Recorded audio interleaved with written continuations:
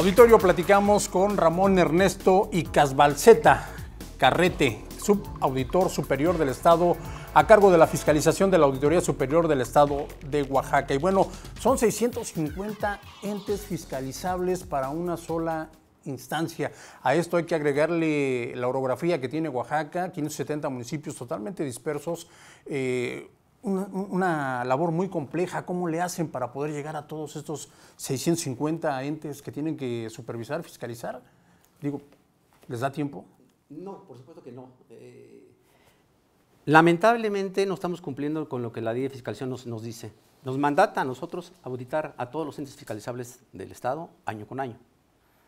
Pero esto implicaría que tenemos 650 entes contra, con 100 auditores que tenemos, tenemos 6.5 entes, 6.5 entes por cada auditor. Es una cuestión totalmente inviable, ¿no? Hay estados tan pequeños como California Norte, Norte, con cinco municipios y tiene el doble de presupuesto que la, la Autoridad Superior de aquel estado con, con nosotros. O sea, es, es, es increíble, ¿no? Puebla y, Puebla y Veracruz, que son los entes, unos entes cercanos con los cuales tenemos muchísima relación, tienen el doble de presupuesto que nosotros, tienen incluso recursos para auditar entidades paraestatales que nosotros no tenemos y además sus leyes eh, orgánicas de los, de, de municipal permite que cada eh, municipio pueda contratar eh, despachos habilitados, como le llamamos, como llamamos en la ley, para que también sean susceptibles de ser revisados año con año. Por eso, es, por eso es que esos este, estados alcanzan casi, casi el 100% de fiscalización en sus estados. ¿no? Nosotros con el equipo que tenemos no podemos hacer más de 60, 70 municipios este, anualmente y no más de 10 dependencias estatales.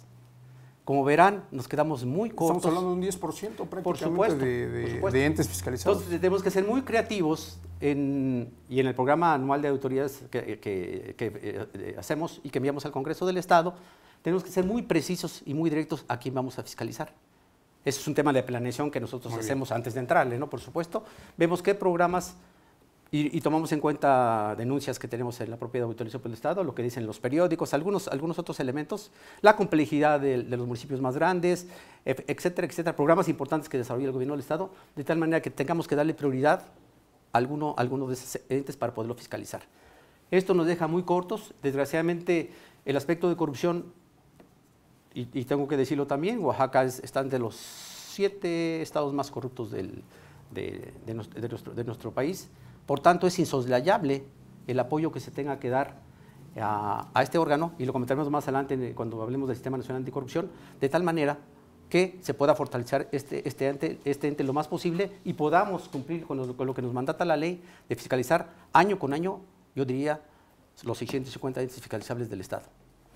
Me he dicho, perdón, me, lo, he comentado en algunos otros foros, yo me comprometo desde esta subauditoría a lograr este, este, este, punto, y más ahora con el Sistema Nacional de Corrupción, sí se duplica, cuando menos, el, el presupuesto que tiene la Auditoría Superior del Estado actual, que es este, más o menos 75 millones de pesos, y además logremos algún presupuesto adicional como de 120 millones de pesos, de tal manera que podamos hacer uso de despachos externos, como lo hace nuevamente Veracruz y Puebla, de tal manera que puedan funcionar como eh, auditores habilitados de nosotros, capacitados por la Auditoría Superior del Estado, insisto, y contratados, yo propongo que por los municipios para evitar cualquier este, suspicacia y podamos llegar a porcentajes de, de, fiscalización muy cercanos como estos estados del 100%.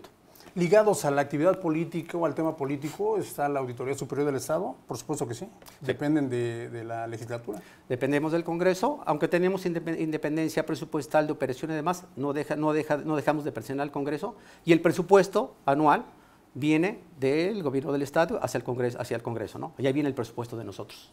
Este, este año que culmina, también culmina la actividad de 570 presidentes municipales, un hecho relevante en el estado de Oaxaca. Este proceso de entrega de recepción ya debe de estarse dando en algunas, en algunas entidades, en algunos municipios.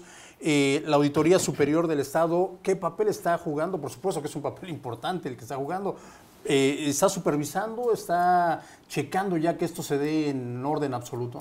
Es correcto, la ley orgánica municipal ya prevé que todos los eh, municipios, eh, sobre todo donde hubo cambio, bueno, hubo cambio de autoridades, ya deben tener integrado su comité interno de entrega-recepción.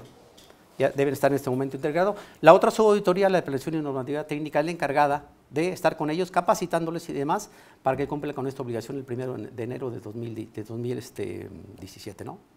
El año, eh, en la administración pasada algunos municipios se quedaron pendientes en este en rendir cuentas transparentes y claras en, este, en este caso? Eso es una pregunta muy importante. Efectivamente, en el proceso anterior, y nuevamente me da pena decirlo, es un caso sugerir de Oaxaca, más de 230 y tantas autoridades municipales hicieron caso omiso del proceso de integración y no entregaron absolutamente ningún papel. Esto es sumamente grave. es, ahí está un caso muy claro de impunidad absoluta, ¿no? ¿Qué se hizo? O ¿Qué se, hizo en este caso? Nosotros, desde la Autoridad Superior del Estado, hicimos, hicimos varias cosas. Una, hacer la denuncia correspondiente ante el Congreso del Estado para que se, se iniciaran los procedimientos correspondientes de manera oficial. Otra, con a través de un oficio le sugerimos a los presidentes municipales que hicieran la denuncia correspondiente ante el Ministerio Público. Claro. Y tercera, más importante, aún con la capacidad instalada que tenemos, se ordenó a todos aquellos municipios que no hicieron entrega de, de sus bienes y de, todo tipo, se iniciaron la auditoría correspondiente. Aún así, aunque iniciamos las auditorías, muchos de ellos ya en el proceso de auditoría, no en el proceso de entrega-recepción, no nos entregaron absolutamente nada. Por tanto, iniciamos procedimientos resarcitorios en la mayoría, de los casos. Eh, ante, esto lo lleva el área jurídica del Auditor Superior del Estado, para iniciar los juicios este, correspondientes y que ahorita comentaremos adelante algunos resultados. Perfecto. Eh, a veces tenemos la, impresión de que a la auditoría tiene las facultades para meter a prisión, llevar ante jueces, ante los tribunales, a presidentes, a funcionarios públicos que no rinden cuentas claras, que son omisos en algunos casos o bien que han distraído el, dinero del erario público. Eh, ¿Son facultades de la auditoría? La facultad de la autoridad es integrar procedimientos resarcitorios o, si tenemos elementos para iniciar denuncias penales, hacerlas. Este órgano ni ningún otro, ni la autoridad superior de la Federación, mete a nadie al bote. Eso es muy importante decirlo. Pero sí, no, sí tenemos la obligación en estos casos reportarlos. Y yo estoy claro que si una autoridad no presentó nada, por eso le estamos observando la totalidad del monto que, le entregó la Secretaría de Finanzas al, al municipio. ¿no? Desgraciadamente, en algunas denuncias penales que sí se presentaron en estos casos, eh, recibimos eh, comunicación por parte del Ministerio Público, del, Poder Judicial, donde no ha lugar a una... Este, eh, la denuncia penal que hicimos no tuvo, no tuvo ningún efecto. Estamos siguiendo los procedimientos resarcitorios, pero no tuvo ningún efecto. Eso me parece sumamente grave, ¿no? Claro. Y volvemos a los casos de impunidad. Permítame hacer una pequeña pausa. Tenemos una línea, una llamada en la línea telefónica 205-6300. Es eh, una persona del auditorio a quien saludo con gusto. Muy buenas tardes, Juan Antonio Ilescas. Estamos en Espacio Ciudadano hablando de temas importantes, corrupción, impunidad y el trabajo, por supuesto, que realizan las autoridades para eh, combatir, para atacar este flagelo en México. Eh, muy buenas tardes. ¿Con quién tengo el gusto? Buenas tardes, con Jorge Guerrero. Jorge Guerrero, te escuchamos con gusto. Mire, le comentaba a, la señorita hace un momento, hace tiempo fueron este, unas personas de la auditoría a hacernos una encuesta a nuestra casa para ver qué, tal nos parecía una obra que nos habían hecho. Eh, a, mí, a mí me gustó mucho el hecho de que fueron a, fueron a visitarnos y nos preguntaron, y hasta en, ese entonces yo conocía a la Auditoría Superior. Entonces, ahorita escuchando al licenciado que están entrevistando que dice que es muy poco personal y, muchos muchos entes que fiscalizan este pues la verdad quería felicitarlos por la labor que hacen porque porque pues eh, el personal que fue a visitarnos fue muy amable y, y pues solamente quería agradecerles por, por el trabajo que están haciendo con el poco personal que tienen. Muchas gracias, Jorge. Escuchamos atentos eh, tu comentario y por supuesto que también lo acaba de escuchar nuestro invitado, el subauditor superior del Estado a cargo de la fiscalización de la Auditoría Superior del Estado, que dice que eh, pues fueron a visitarlo para entrevistarlo sobre unas obras que se realizaron. Es esta parte de la tarea que están realizando ustedes. Esta parte, qué bueno, muchas gracias por, la, por el comentario, que estamos abiertos a la crítica de... Claro. Por supuesto, ¿no? Gracias. Esta parte es muy importante por lo siguiente. Las tendencias de la fiscalización en el mundo no es ya no solamente que esté la obra y que esté debidamente comprobada, ¿sí me explicó? Sí. Sino que haya sido útil a la comunidad. esa parte es, fundamental y cambia todo el paradigma de la, paradigma de la fiscalización. Porque podemos tener una obra que no fue útil o no llegó a nada. Y está, no se está perfectamente comprobada, etcétera, etcétera, pero no, no es suficiente. Por ahí va y es un tema de evaluación al desempeño.